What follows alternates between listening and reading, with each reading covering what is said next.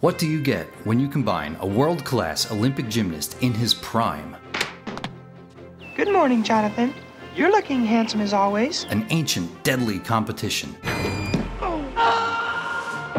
Cold War era geopolitical tensions, Who's this? I don't know. His name's Zamir. He intends to overthrow the Khan and sell the country to the other side. a village populated entirely by the mentally ill,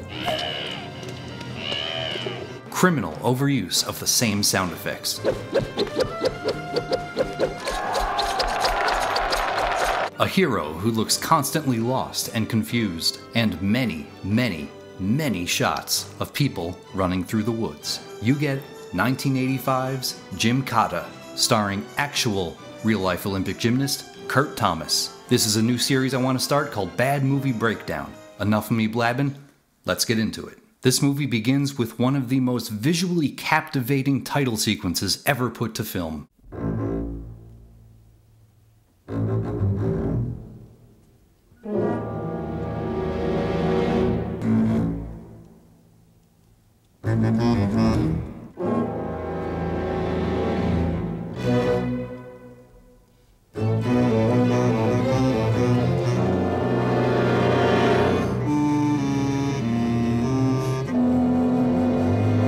Okay, I'm just going to skip ahead a bit.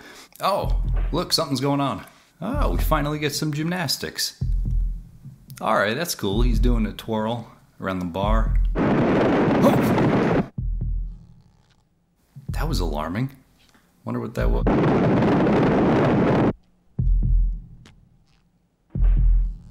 That has to be the last time. Glad that's over. Next, we're treated to a five minute chase scene of this guy running through the woods in vibrant green sweatpants.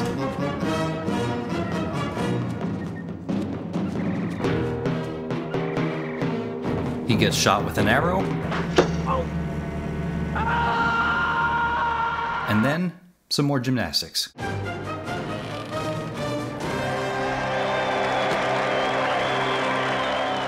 Four minutes into this movie, and we've already got a freeze frame. Beautiful. This mysterious guy from the crowd stops this uh, fangirl from approaching our hero because you know you get you must be pure in mind and body and spirit if you're going to embark on an epic journey like this. All right, before we go any further, one thing that's completely missing from this movie is the introduction of that guy in the suit there. So he's some kind of CIA special operatives recruiter for the US government. None of that is explained, by the way. There's no scene where he says, Hi, I'm from the CIA. We need you to do this mission. I don't even know that guy's name. I don't think he has a name in this movie. Next, we get our big exposition scene. You recognize him. Khan of Parmistan. What do you know about his country?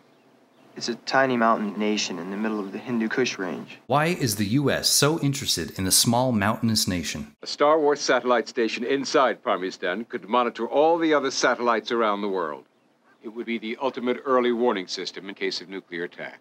Who's this? I don't know. His name's Zamir. He intends to overthrow the Khan and sell the country to the other side. So we got a bad guy who intends to overthrow the leader of that nation and sell the country out to the other side. Then why would they recruit an Olympic gymnast with no combat training? Why doesn't the US just send in some special forces, some Sam Fisher Splinter Cell type guys? Why don't we send in the troops?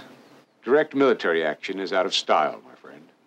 Oh, Anyone who enters Parmistan must play the game. I feel like they could have came up with a better name than The Game. No outsider has won the game in over 900 years. If he wins, he's allowed his life and one request. Other countries are training their athletes right now. A lot of people want that one request. The US wants to use that one request for winning the game to build their satellite station. The Khan is being challenged inside his country by a radical group. They'd like to open the borders and sell the satellite station to the other side. Wait, they'd like to open the borders and sell the satellite station to the other side. So there's already a satellite station in the country? Why would they have it a satellite station? Parmistan is like in the medieval era. They don't even seem to have electricity. What does Parmistan use its satellite station for? And how would they even get a satellite station built? Zamir intends to sell out a pre existing satellite system. I think. Any questions? None. At the beginning of this movie, the guy in the bright green sweatpants was our hero's father, who previously participated in the game, but uh, has never been seen again, assuming he died. But where his father failed, he will succeed because, for whatever reason, they have the help of the Princess of Parmistan, who is an expert in the game. He says the princess will be handling his training from now on. And her version of training him mostly consists of beating him up and surprising him with knives. Like any good 80s action movie, we get a training montage.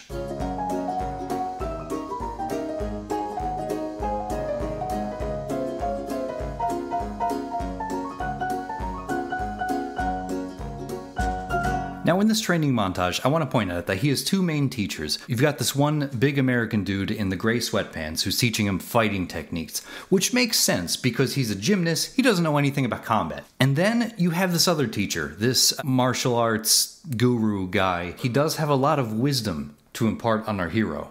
Do not hear the wood split. Hear the only sound of axe cut in the air.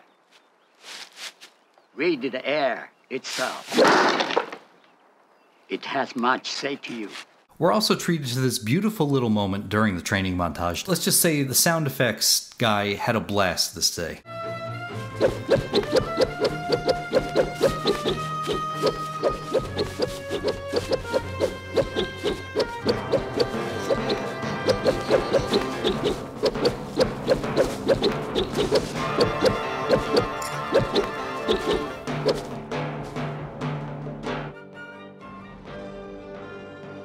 That supposed to help him? Once our hero is able to handstand up a flight of stairs, our guru trainer gives us a very warm and congratulatory, uh, well, you'll see.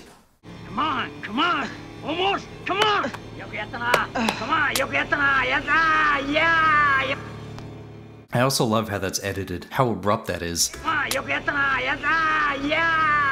Come on, you get it, yes, yeah, yeah. Now we finally get some character relationship building development between our hero and the princess. Our hero flirts with the princess in the only way he knows possible by doing backflips.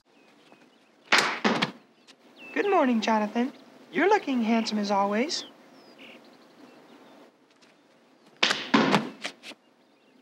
Did you sleep well?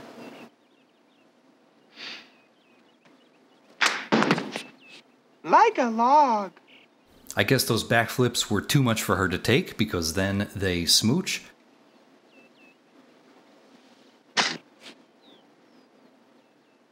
Sometimes you just gotta take a chance. and we get a little shot that reminds me of the uh, the Alfred Hitchcock train through the tunnel thing.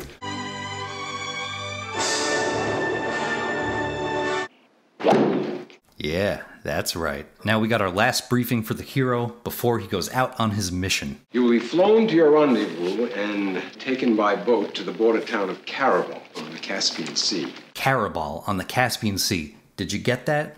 Well, if not, they'll remind you. Jonathan, what town are you going to? Karabal on the Caspian Sea.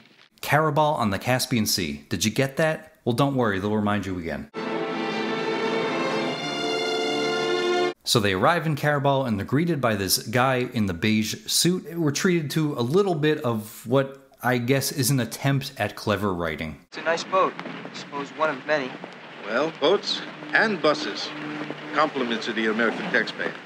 It figures. Now we get a scene uh, reminiscent of any James Bond movie where Q is showing James Bond the various gadgets he'll use. Except these interesting gadgets mostly consist of sharp knives. Looks ordinary enough, huh?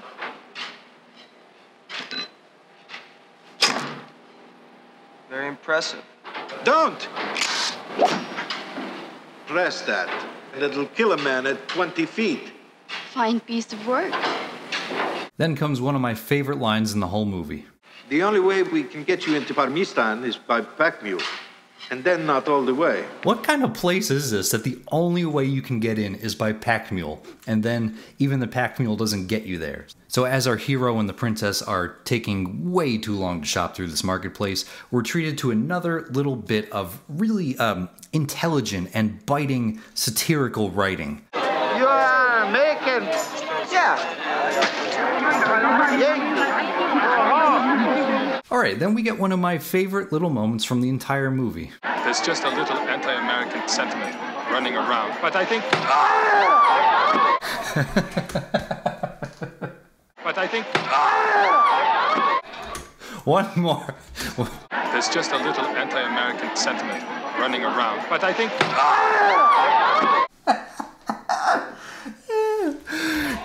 God, I love how abrupt that is. So he must give chase. Now we're treated to our first moment of a random act of gymnastics. Why else hire him for this movie if you're not going to have him do like 50 scenes of backflips and jump kicks and stuff? It is impressive watching Kurt Thomas do his gymnastics slash karate routines, but there's also a amount of uh, terrible other stuff, like this fake blood, for example. Look at that. It looks like they just smeared some ketchup packets on this guy.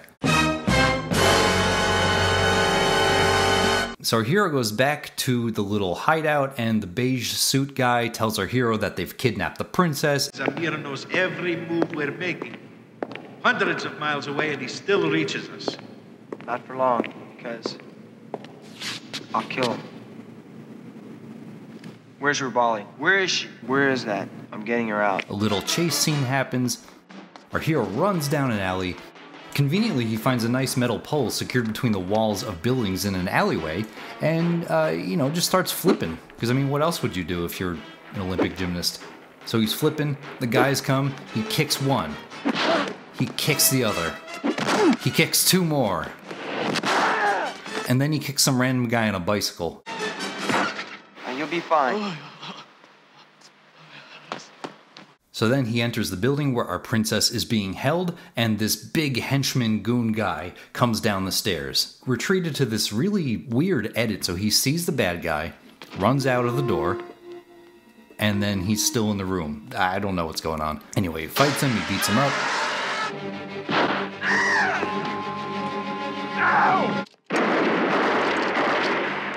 Shoots that guy, rescues the princess. Then we're treated to a 12 and a half minute, really boring chase scene. This chase scene could have been condensed down to 30 seconds. I'll do that for you.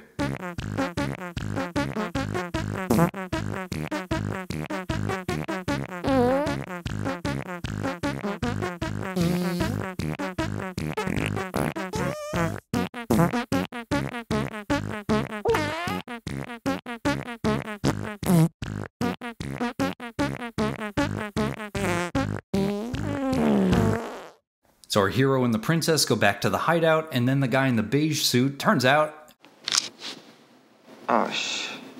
he's betrayed him. Oh no. And then, suddenly, I always said that special intelligence should have handled this whole operation. wait, I, I, I thought you said that you didn't. Direct military action is out of style, my friend. I always said that special intelligence should have handled this whole operation. I don't know, whatever. Our hero and the princess are back together. Now they must continue into the isolated nation of Parmistan. And we're given another scene that's way too long of people walking through the woods.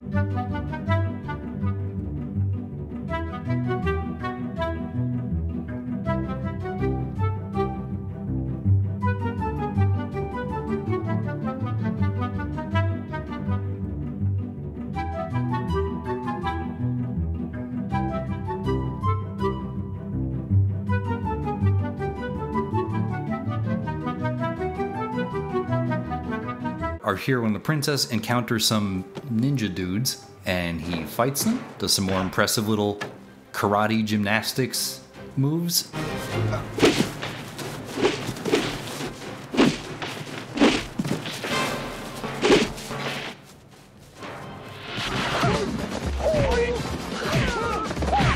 And then one of these guys hits him on the head. And then he wakes up in Parmistan. So is this what that guy in the beige suit meant? That this is the only way to get into Parmistan? That you can go only so far by pack mule, then you have to take a raft, then you have to walk through the woods, then a group of ninjas has to attack you and hit you on the head, then you'll wake up in the country, then you have to fight for your life in the death competition. Sounds like a nice place.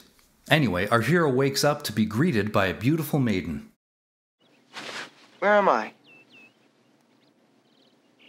Where's the Princess Rubali? What's going on? You'll get no answer. She has no tongue. And is given a warm welcome by the bad guy who intends to overthrow the government. Who are you? Commander Zamir, advisor to the Khan. If there is anything I can do for you, please ask. And as I said, welcome. Thanks. No. Okay, okay. Next, our hero meets up with uh, some of the other competitors who are going to participate in the game. Probably my favorite character in this whole movie is the King of Parmistan, or the Khan, whatever they call him. Uh, he shows the competitors the outline of the the game map on this crappy little diorama they made, I guess from parts from like Michael's craft store or something. Then we get this beautiful line delivery by the king. If you'll excuse me now, gentlemen, I must go play king for my people. Yes, I am the king. Uh-huh, Next is possibly my favorite little takeaway from this movie.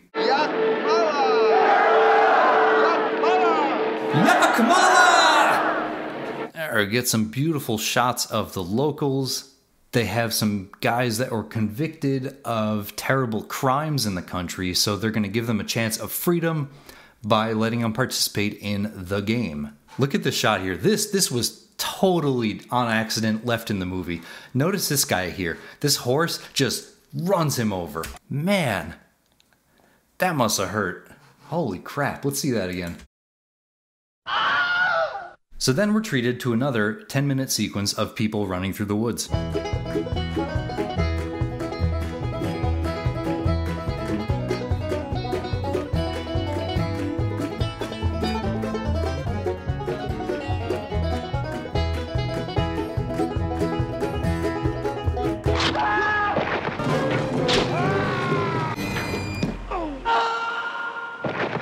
After all the prisoners have been murdered, well, it's time for a celebration.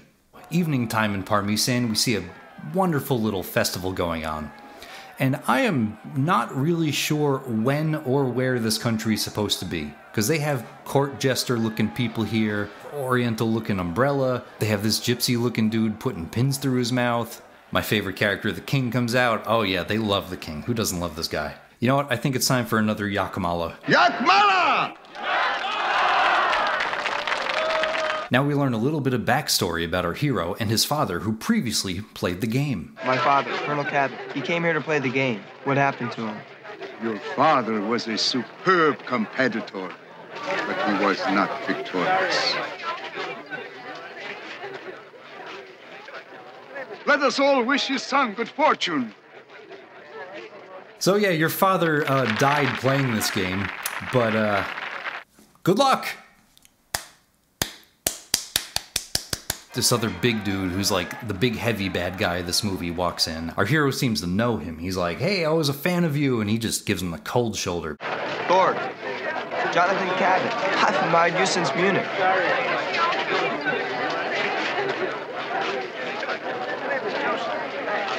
all of these actors are are so adept at their craft that they can convey such deep emotions without even saying anything.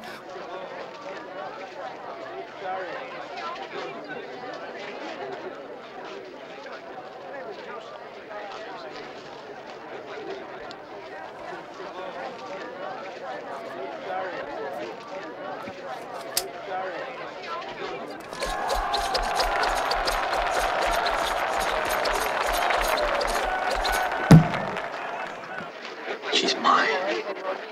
It's not over yet. So put your hardware back in your pants. Then later that night, our hero wants to have a secret rendezvous with the princess for some little smoochy smoochy. I'm not sure what his plan is here, so he surprises that old hag lady. You will take me to the Princess Rubali. She shows him where the princess's room is. Then he gives her the knife and says, Go away. I, I, I don't know. So we're given even more depth and deep lore about this country of Parmistan. He has already earned a lot of enemy for letting the 20s go unpunished. The 20s? The young people. They want our country to join the 20th century. Why? Sound interesting? Well, don't worry, it never comes up again. That sounds intelligent. I mean, these people don't even seem to have electricity. This is 1985. Like, y- you could expand and uh, open up a little bit. We get some really uh, intense acting from the two of them. It's not gonna happen. Don't play tomorrow. I have to. You'll get killed. Wouldn't I be killed anyway? Do you think they're just gonna allow me to walk out of here? I'll win. You cannot defeat him now. I will defeat him. And then uh, some bad guys show up, and the princess runs away like one of those inflatable floppy arm things from a used car lot. Finally, it's time for our hero to participate in the game. And mind you, we're like 50 minutes into the movie. You know what? I think it's time for another Yakmala. Yakmala! Then we're treated to another 10 minute sequence of people running through the woods.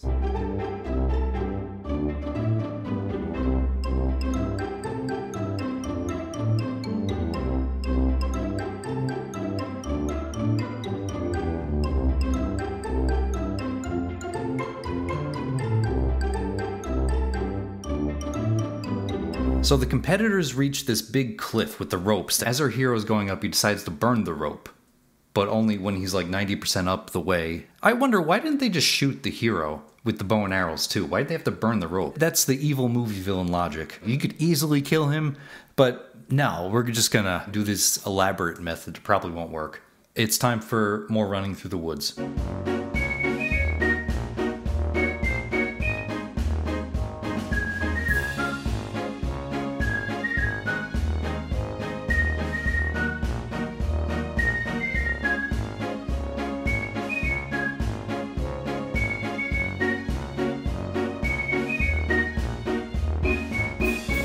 Hero has his encounter with the big heavy of the movie. This is going to be a big fight. Get ready for the intensity in his acting. The finish line for you is right here, Cabot. Out of the way, Thorg. And now, finally, as the danger builds and the army with the bow and arrow show up, we're reminded of the words of wisdom from the training guru earlier in the movie. The only sound of axe in the air. See, that's some intelligent writing right there. It's bookends it, it creates a theme, things connect, and we're treated to this weird edit here.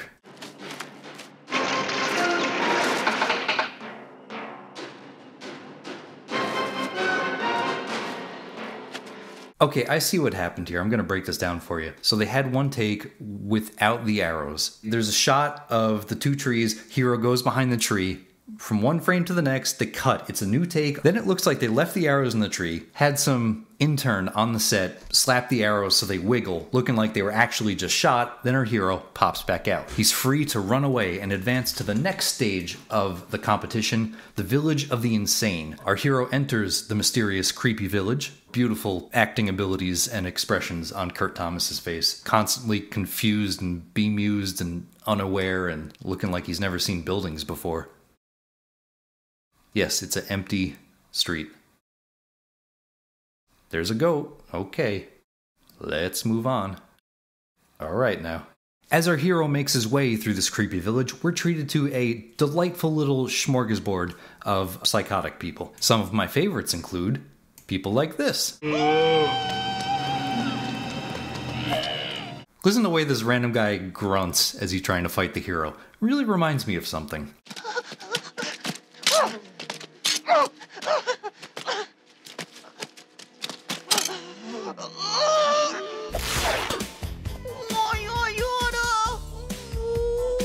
As our hero is walking through the village, he gets uh, surrounded by a group of little old babushka ladies. Kurt Thomas has no problem beating up babushkas. And then comes what I believe is supposed to be the climax, the peak, the pinnacle of the action in this movie. As our hero is running through the village of the mentally insane, he encounters a pommel horse. One of those things that gymnasts do their flips and twirls on. Because why not? You know, I mean, why wouldn't that be in the village of the insane? Kurt Thomas does what he does best. He mounts the pommel horse and proceeds to kick the crap out of mentally ill people.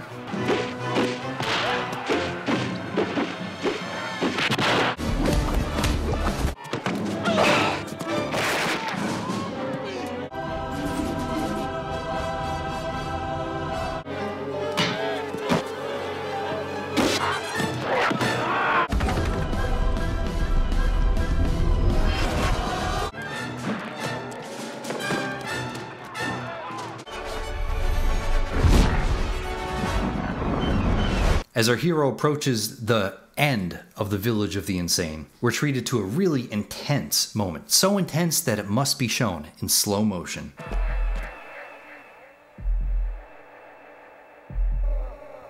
Wow, Ooh, this is this has got me on the edge of my seat.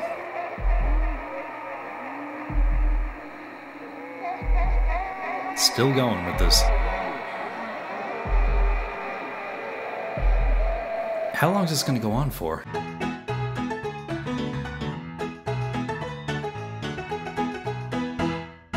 Turns out our hero has been rescued by his thought to be long lost father. Dad. Father? I knew you'd get here, Jonathan. Don't ever give up, my son. Meanwhile, the princess and her father are being held captive by Zamir's men. The king refuses to acknowledge the fact that Zamir's men are, in fact, bad guys. You're a prisoner in your own palace. Not true. Why are you saying such things? The princess seems to win him over to her side once she brings up the fact that they wear ninja masks. Father, look at them. Faces hidden from you. Well, that. We're almost near the end of this movie, and our hero still has to have his final conflict with the big bad guy Zamir. But before that, you know, I think we need one more uh, 10 minute scene of people running through the woods.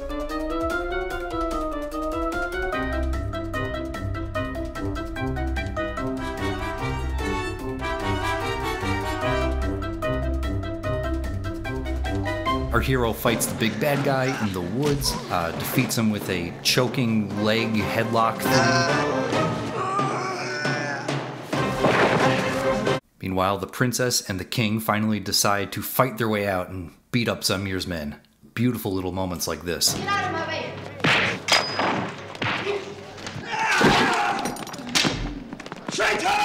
Whoever's playing this king guy seems to be having the most fun on this entire set.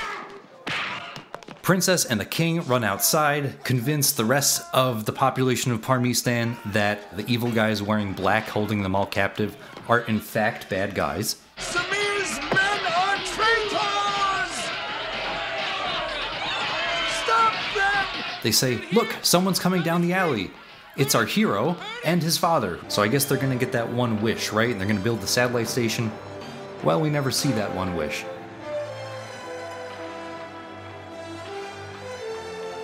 We get our second and final freeze frame of the movie. Look down here. It's, uh, they put an extra space here. No one proofread that or looked at it before it went out. And, ah, you know? We need one more scene of gymnastics. Well, there you have it. That was my bad movie breakdown of Gymkata, starring Kurt Thomas. If you've watched this far, thank you for watching. I appreciate it. Until next time, I have but one thing to leave you with Yakmala. Yakmala.